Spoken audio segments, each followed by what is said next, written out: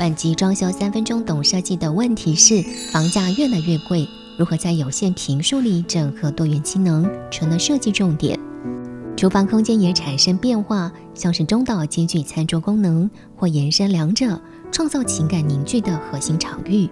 整并餐厨领域且兼具早餐需求的美式风厨房，到企业主与家人共享的意式厨房，体现惬意时尚。还有透天别墅里的白色中岛厨房，明亮洁净氛围，让人好想久待。王光宇设计师透过三个厨房空间。解析暖心设计的重点秘诀一：搭配木质餐桌，美式厨房是情感交流的天地。此案为一百零五平美式风空间，空间里透过浅色调打底，结合玻璃隔门元素与水晶吊灯，营造轻盈疗愈的美式宅邸。考量女屋主喜爱三五好友共享美食与一同料理的生活乐趣，将餐厨空间整并，融入白与浅黄色调，创造温暖的美食厨房。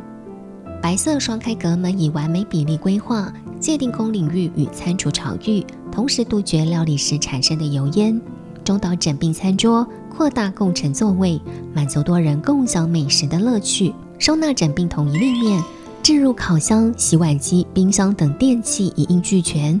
中岛还设 IH 炉，满足热汤、火锅的享食需求。秘诀二：简洁意式厨房美学，兼具机能与美感设计。一百零二平奢华风豪宅，融入精致做工与艺术内涵，打造企业主最舒适的私宅典范。餐厅以金箔圆拱天花搭配圆形餐桌，精致大气质感成为绝佳的宴客空间。由于屋主喜欢在家吃饭，特别规划一处独立餐厨区，简约意大利厨具佐入惬意时尚品味，延伸大地色调柜体，创造隐藏式冰箱设计。流明天花板设计满足屋主喜爱明亮柔和的用餐氛围。电视右侧规划书架，让屋主用餐中间可享受阅读乐趣。左侧规划玻璃展示柜，让陈列的餐瓷器皿替空间注入艺术美学氛围。秘诀三：引光打造白色中岛美厨，实现三代同堂享食生活。一百三十四平透天别墅里，柔和现代与美式风格。